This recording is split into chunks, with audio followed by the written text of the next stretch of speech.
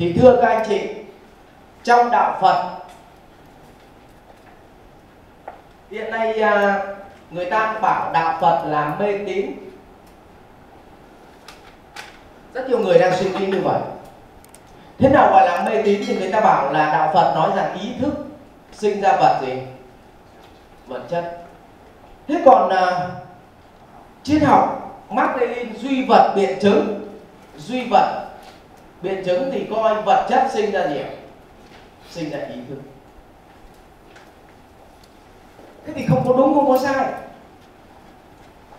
Giả sử chia làm hai vòng đời luân hồi, đây là vòng chúng ta nhìn thấy. Có phải có phải lúc nào chúng ta cũng nhìn thấy mặt trời không?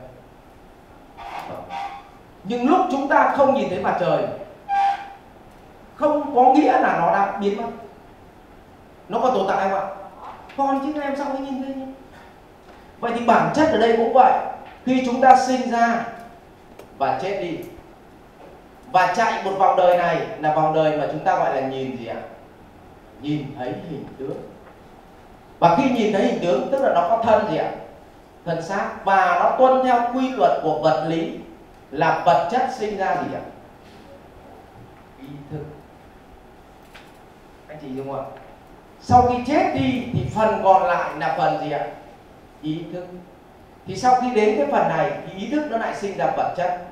Ví dụ tâm mình là tâm của con người, thì vật chất hình thể của mình là gì ạ? Người. Tâm mình là ngợ, thì hình thức nó sẽ là gì? Ngợ. Cho nên đức phật mới sinh ra là có 32 tướng tốt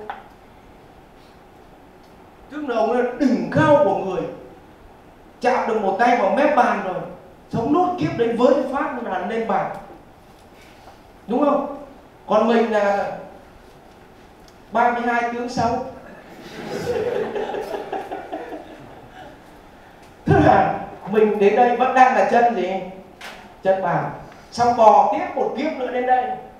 Đúng không? Là qua được cái nớp cao su ở chân bàn lại bò tiếp một vòng nữa lên đến đây. Anh chị dung ạ. Đấy thì bắt đầu là lúc này hình tướng là người đẹp dai rồi đấy. Đúng không? Đây là vẫn là phụ nữ này. Đấy. Xong ngon vòng nữa tu ngon vòng nữa ra đây có vấu yeah. là nam giới đây có thêm cái vấu đấy xong đến đây bắt đầu từ từ nó mới thoát ra khỏi cái vòng này. Và thoát hẳn ra bên ngoài này thì là thoát khỏi vòng gì ạ? Sinh sinh tử luân hồi. Tức là không có thân nữa, tức là đến đây là hất văng này có đúng không ạ? Đấy. Thì nó sang một cái cái cái vòng tròn khác. Vì vậy bản chất là chúng ta thường nghiên cứu đạo phật thì chúng ta đối với duy vật biện chứng thì người ta nghiên cứu cái phần nhìn thấy, cho nên người ta dựa vào vật lý nhiều hơn. Còn đối với duy tâm thì người ta nghiên cứu về phần gì ạ? Phần không nhìn thấy là ý thức lại sinh ra vật chất. Còn trong đạo phật là nghiên cứu cả cùng một vòng tròn. Còn mê tín là người ta nghiên cứu phần này. Vật lý người ta nghiên cứu phần này. Nghiên cứu tất cả cái này thì là đạo phật.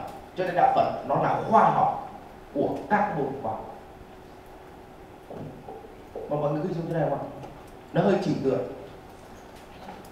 cho nên không có đúng cũng không bảo ý thức sinh ra vật chất, mà cũng không nói vật chất sinh ra ý thức. Ngay kể cả bây giờ chúng ta sống, có đúng là tâm hồn chúng ta điều khiển thể xác chúng ta tâm ta ấy có phải tâm ta an nhiên tự tại, khuôn mặt chúng ta nó cũng dạng dỡ mà tâm chúng ta bấn loạn, mặt cắt không còn máu tối gì à nhìn thấy ngay không các anh chị thấy không ạ? Vậy thì rõ ràng ở đây là ý thức nó thay đổi vật chất. Nhưng cái mà duy vật biện chứng đang bàn đến câu chuyện là vật chất thay đổi ý thức ấy, là đang đạt bàn đến câu chuyện là con người điều khiển con người con người điều khiển thế giới. Còn trong đạo Phật là đang nghiên cứu một vòng luân hồi trong con người và con người mình. Tức là vật chất của con người mình và gì ạ? Ý thức của con người mình. Nó có biết không ạ? Triết học Mark Lenin là nghiên cứu vật chất của thế giới. Còn đạo phật là nghiên cứu ý thức và vật chất trong chính con người mình bởi con người mình chính là một vũ trụ không nhỏ. Đấy các chị hiểu chưa nó không có đúng không có sai. Chỉ có điều các chị hiểu sai đi thôi chứ còn Mark Lenin cũng đúng. Đạo phật cũng đúng nhưng mà đạo phật nguy hiểm hơn vì đúng toàn diện. Rồi à bây giờ chúng ta từ đây chúng ta mới, nó quay sang cái luân hồi.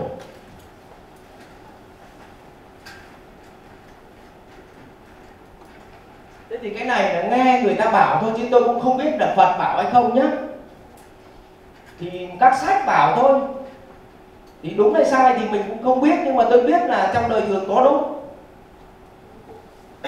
Là cái chữ tâm trong con người mình ấy, nó cũng chia được thành sáu sáu tầng bậc. Tầng bậc một là tầng bậc của địa ngục.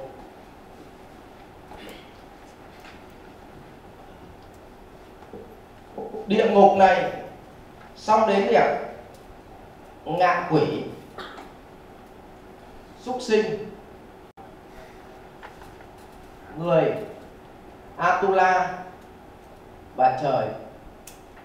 Thì địa ngục này đại diện cho tham ngạ quỷ đại diện cho sân, súc sinh đại diện cho si, người đại diện cho nghi, và atula đại diện cho mạng.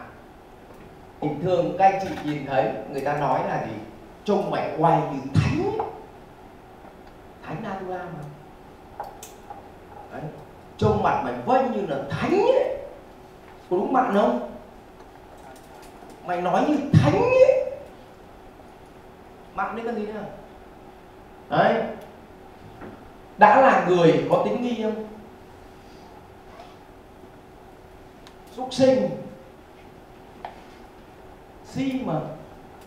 Si ở đây có hai khái niệm, một là ngu si, hai là si mê. Đúng không? Ngạ quỷ thì có hay nổi điên lên không?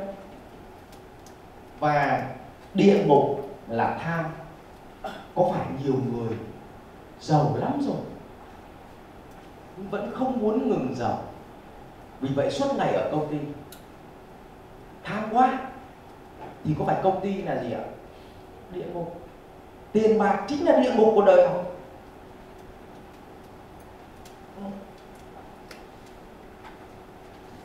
Thế thì nhìn vào đây thì có phải tâm ta nó cũng diễn biến một ngày như thế này không?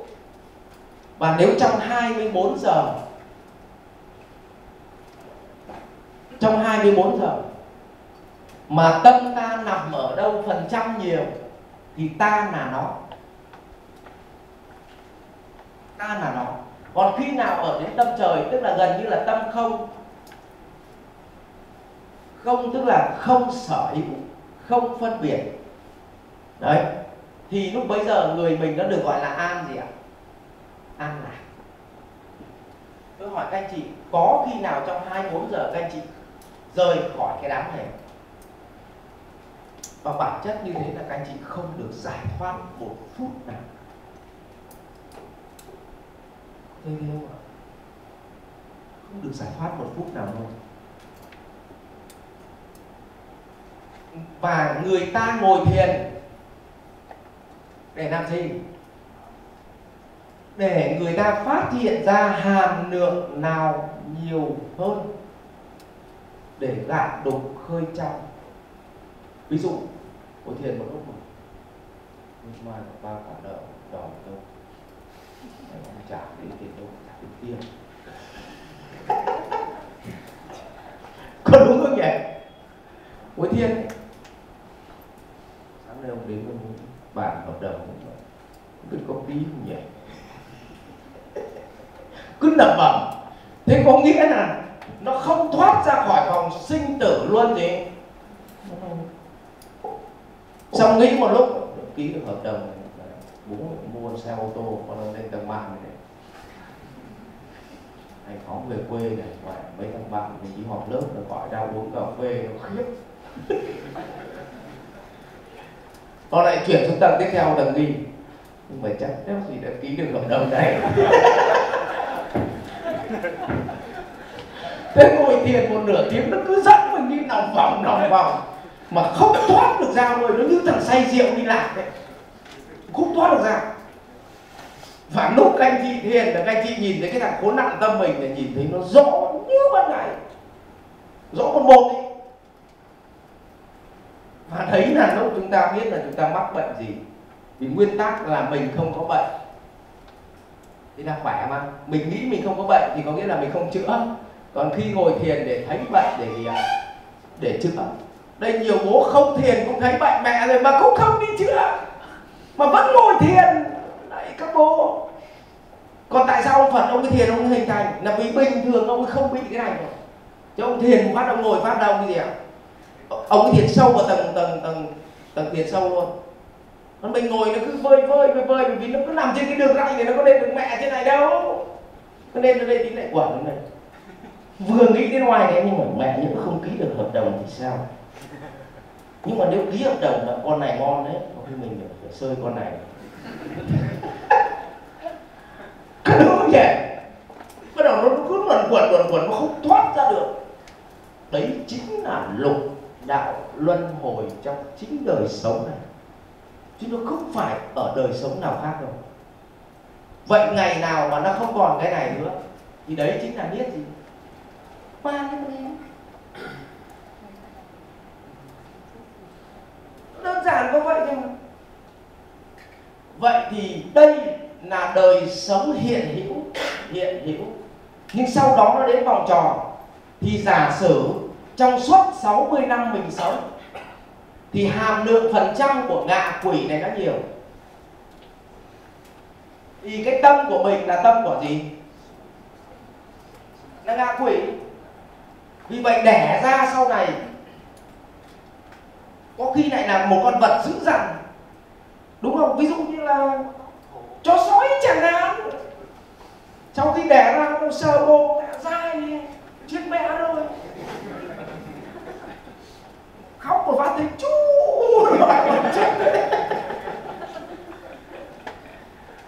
Đúng không nhỉ? Còn nếu mà tâm mình nó ở cái gì ạ? Tâm người cao quý nhân văn. Thì đẻ ra phát đây là mém mém lên đây này. 32 tướng tốt. Con đúng không các và không nói đến sang kiếp sau, ngay kiếp này, mẹ cứ thời kỳ tâm mình nó rơi vào cái gì nhiều là mặt mình nó đúng cái tâm đấy luôn. Thời kỳ nào mà làm ăn được, bắt đầu nó rõ luôn tâm của thánh rồi. Kiểu, vành nắm ông ơi. Ngày xưa đi là nách nó khép lại, từ ngày giàu đi thế này bơi thấy ngay mà.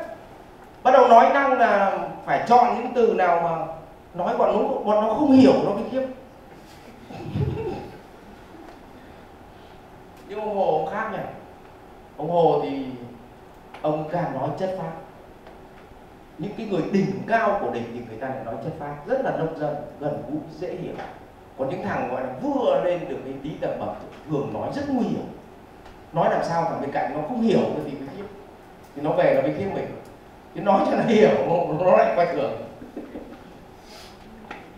cái chỉ cứ để ý tầm bậc này. Ừ. Ví dụ đi có khi gặp bác, bác, bác Nguyễn Phú Trọng. Có khi bác ấy nói rất là từ tốn rất là nhẹ nhàng nó rất là có khi dùng những từ rất là cùi bắp nông dân thôi chứ có gì nguy hiểm đâu nhưng mà có khi gặp mấy ông gọi là, là quan sát mẹ anh xịn vui gì không em?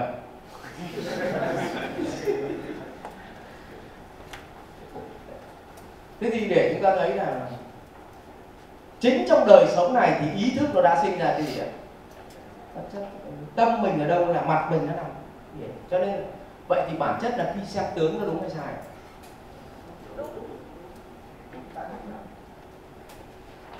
xem tướng là mình xem quả hay xem nhân? Quả. Mà quả là do cái gì sinh ra? Nhân. Cho nên người ta gọi là phong độ đẳng phong độ là nhất thời đẳng cấp mới là mãi mãi. Vậy một mùa ra quả bình thường. Nhiều mùa ra quả người ta gọi là đẳng cấp. Mà muốn biết đẳng cấp thì người ta phải xem gì? Xem gốc cây. Có thằng nào đi mua cây cảnh nhìn gọn xong rồi bên luôn về không?